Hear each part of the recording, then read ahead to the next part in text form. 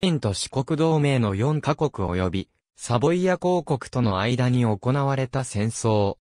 スペイン継承戦争を終結させた1713年のユトレヒト条約及び1714年のラシュタット条約により、スペインはネーデルラント、ミラノ公国、ナポリ王国、サルデーニャ島を神聖ローマ皇帝カール6世に、シチリア王国をサボヤ公、ビットーリオ・アメデオ2世に割譲した。スペイン王フェリペ5世は、領土回復を追求したが、当面の急務は13年間の戦争で荒廃した、スペインの国力の回復であり、イタリア出身の枢機卿であるジュリオ・アルベローニがそれを推進した。1714年、アルベローニは、カフとなった、フェリペ5世と21歳のエリザベッタ・ファルネーゼの演談をまとめた。この演談の途中で、アルベローニは、エリザベッタの個人的な顧問になった。1715年、アルベローニは、首相に就任、スペインの財政取陸軍を改革した、他スペイン艦隊を再建した。一方のエリザベッタも、ファルネーゼ家の一員として、イタリアのパルマ・ピアチェンツァ公国、ひいては、トスカーナ大公国の継承権を有していたため、自分の子供であるドンカルロス王子のために、イタリアの君主位を確保したいと望み、アルベローニの支持を得て、フェリペ5世とその息子たちのイタリアに対する野心を煽った。そして、スペインはオーストリアが、オスマン帝国との戦争にかかりきりになっている間に、軍隊を派遣して1717年8月に、サルデーニャを占領した。スペインは、フランスとの火種も抱えていた。1715年、フランス王ルイ14世が死去して、ルイ15世が5歳で即位したが、溶接の可能性もあり、フェリペ5世がユトレヒト条約で、フランスの王位継承権を放棄したにもかかわらず、フランス摂政のオルレアン公フィリップ2世とルイ15世の継承者の位を争った。その裏には、メーヌ公妃ルイーズ・ベネディクト・ド・ブルボンが夫を、そそのかして参加させ、スペインの中仏大使のチェッラマーレ公爵アントニオ・デル、ジューディチェが一枚噛んでいた、チェッラマーレ陰謀もあり、オルレアン公を追放して、フェリペ5世を摂政につかせるという陰謀があった。さらに、スペインはイギリスへの牽制として、ジャコバイトとスチュアート家を支援した。1717年、イギリスがスウェーデンに宣戦布告して、大北方戦争に参戦したが、スウェーデン王カール12世はジャコバイトを通して、アルベローニと連絡を取った。英仏同盟は、スペインとスウェーデンの共通した敵であり、イギリスのハノーファー朝国王が追放されることで、スウェーデンは敵国を一つ減らし、スペインはフランスとの連合を促進、続いて、東方での戦闘に手間取っているオーストリアを簡単に屈服させるができる、と考えたのだった。これに対して、フランスの外務大臣、ギオーム・デューボアはイギリスからの圧力で、英仏による連合交渉に同意、スペインに和議の条件として、シチリアとサルデーニャの交換、トスカーナ大公国とパルマ・ピアチェンツァ公国の継承権をエリザベッタの長男ドン・カルロスに戻すことの2条件を出した。イギリスはジブラルタルの返還まで持ちかけたが、スペインは和議を拒否した。スペインが強硬策に踏み切った背景には、フランスにおけるハン・オルレアン公、ハン・デュボア、親スペイン派の存在、イギリスにおける、反戦勢力である、承認層の存在、並びに、英仏同盟が長く維持されることはないという判断があった。これらの行動は諸国に警戒され、1716年末に、デュボワが、オランダの説得に成功すると、翌1717年1月4日に、英仏蘭の間で三国同盟が結ばれた。しかし、オーストリア軍は、すべての資源をオード戦争に投入しており、総指揮官のプリンツオイゲンはイタリアにおけるスペインとの大戦争を避けたかった。そのため、オーストリアの動きは鈍かった。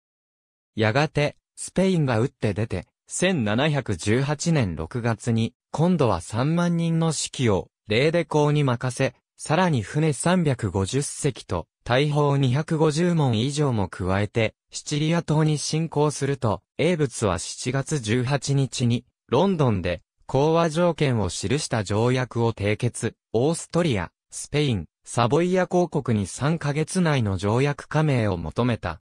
その3ヶ月後に、オスマン帝国とパッサロビッツ条約が締結して、講和したオーストリアは8月2日に条約に加盟し、四国同盟が結成された。戦争の名前は、この同盟による。英仏王の計3カ国しか加盟していないにもかかわらず、四国同盟と呼ばれたのは、オランダの加盟が予想されたためだったが、オランダは、スペインとの貿易を維持しようとして、条約加盟を拒否した。サボヤ公、ビットーリオ・アメデーオ2世は、アルベローニと反オーストリア同盟の交渉を始めたため、一時は不明確な立場を取ったが、11月に同盟に加わった。イギリスは四国同盟が締結される前に、ジョージ・ビング提督率いる艦隊を派遣して、スペインのシチリア島奪取を阻止しようとしたが失敗した。ビングは1718年6月に地中海西部に到着、8月11日のパッサロ岬の海戦で、スペイン艦隊を壊滅させた。スペインはそれでも諦めず、イギリスは1718年12月に、フランスは1719年1月に、対スペイン戦線に踏み切った。オランダは1719年8月に戦線した。その後、イギリス艦隊の支援を受けたオーストリア軍は、シチリアに上陸したが、ミラッツォの戦いとフランカビッラの戦いと、スペイン軍に連敗した。しかし、艦隊の支援がなくなったスペイン軍の状況はそれ以上に悪化しており、1719年のミラッツォでの再戦はオーストリア軍が勝利、そのまま10月にはメッシーナも占領された。アルベローニはイギリスへの妨害としてアルベローニ計画を立て、ジャコバイトとハイランド地方におけるジャコバイトを支持、ジョージ一世を廃位して、ジェームズ・フランシス・エドワード・スチュアートを大いにつかせようとした。これにより、スペインは、スコットランドに、海兵隊300人と、第10代マーシャル伯爵ジョージ・キースなどジャコバイトの指揮官をスコットランドに上陸させた。スペイン軍は、放棄を支援するためにシーフォース教の住処の一つである、アイリーン・ド南城に駐留軍を配置した。しかしアイリーン・ド南城はジャコバイトが出払っている間に、イギリス軍に占領、破壊された。また、第2代、オーモンド・コー・ジェームズ・バトラー率いる軍勢7000は1719年3月に、カディスから出港したが、フィニステレ岬で嵐に遭い、グレートブリテン島に上陸できなかった。スペイン軍とジャコバイト軍が急合して戦ったグレンシールの戦いも政府軍の勝利に終わり、ザ・ナインティーン、または1719年の反乱と呼ばれた1719年ジャコバイト放棄は1回の戦闘で鎮圧された。シチリアでの戦闘の間、イギリスとオランダの艦隊がスペインの艦隊と通称を攻撃し、沿岸攻撃も行った。ジャコバイト放棄の後、1719年10月には、イギリスが報復として、フェロルト・サントーニャに上陸、さらにビーゴを占領、スペイン政府は動揺した。フランス軍は、ベリック公ジェームズ・フィッツジェームズが、パンプローナの行為を主張したが、物資の準備が追いつかなかったため、代わりに1719年6月18日に、オンダリビアを3週間の包囲を経て攻略した。フェリペ5世率いるスペイン軍は、その前日に、オンダリビアから2リーグほどのレサカまで来ていたが、町が占領されたことを知ると引き返した。ベリック公は続いて8月に、サンセバスティアンを降伏させたが、背後に、パンプローナという強固な要塞を残して進軍することに危険を感じて撤退、カタルーニャに転じて8月31日に、ラ・セウドゥルジェイも攻略した。しかし、続く、ロザス包囲戦では悪天候が続き、嵐により補給線が多数破壊されたためベリック公は、やむなく撤退、東映に入った後パリへ戻った。新大陸においてはフランスが1719年5月に、ペンサコーラを占領した。同年8月、スペインの大部隊が救援に来たためフランスの小規模な中流部隊は降伏した。しかし、9月1日に今度はフランス艦隊が来て、ペンサコーラを再び占領した。1720年2月、スペイン軍はバハマのナッソーを占領しようとしたが失敗、略奪しただけに止まった。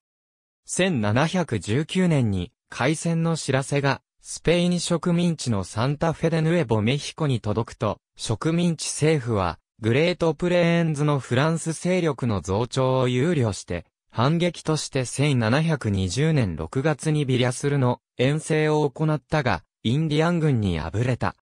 一方でイギリスは、首脳部のスタンホープ伯爵とロバート・オルポールの両方が植民地遠征を支持しなかったため、スペインの植民地への遠征軍を派遣することはなかった。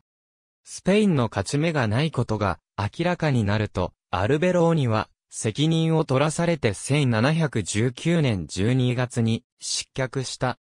イギリス、フランス、オーストリアは1719年10月にスペインが四国同盟の講和条件を認めなければ、カルロス王子のパルマ・ピアチェンツァとスカーナ三公領の継承権を取り上げると決め、フェリペ5世は折れて1720年2月17日にハーグ条約を締結、戦争が終結した。その結果、スペインは、すべての占領地を返還し、その代わりパルマ公国の継承権が認められた。サボヤ公、ビットーリオ・アメデオ2世は神聖ローマ帝国のカール6世に、シチリア王国を割譲し、その代償として神聖ローマ帝国からサルデーニャ島を割譲された。神聖ローマ帝国からサルデーニャ王の称号も認められ、サルデーニャ王国が成立した。戦後、パルマ・ピアチェンツァとスカーナ三公領の継承について1724年にカンブレー会議が開催されたが、全く進展せず、オーストリアとスペインは独自に交渉して1725年4月のウィーン条約につなげた。ありがとうございます。